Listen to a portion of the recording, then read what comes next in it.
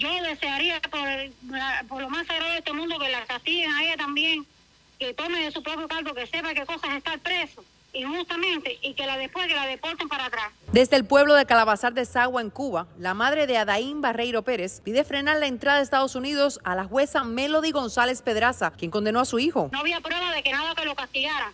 Y él estaba diciendo que le habían dado golpes, que lo habían calzonado y lo habían obligado a copiar esta declaración y ella lo mandó a callar y que se sentara, que no hablara más nada. Lo sancionó a tres años de privación de libertad porque usted después al cabo de que lo sancionó al cabo de 20 días, a los 10 días se fue para Estados Unidos. González Pedraza llegó al Aeropuerto Internacional de Tampa el 30 de mayo tras obtener un permiso de viaje gracias al parol humanitario. Y Pérez no puede entender cómo la presidenta del Tribunal Municipal de Encrucijada en Cuba le aprobaron la visa. Ella no pudo haber pedido liberación porque aquí la liberación para darle a una persona tan integrada al Partido Comunista de Cuba, eso demora días, meses, no entiendo nada.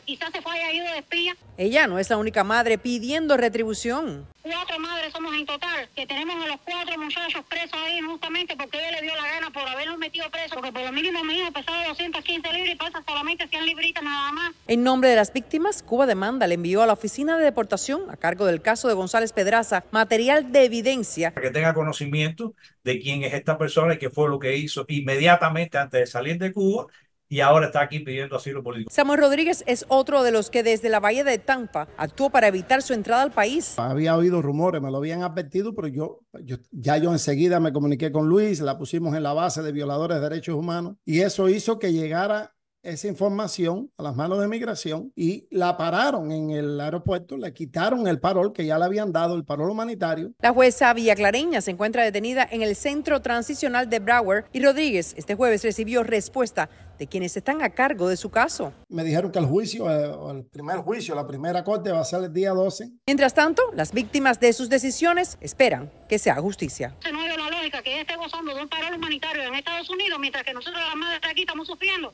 de todas las cosas de daño que ya nos ha hecho.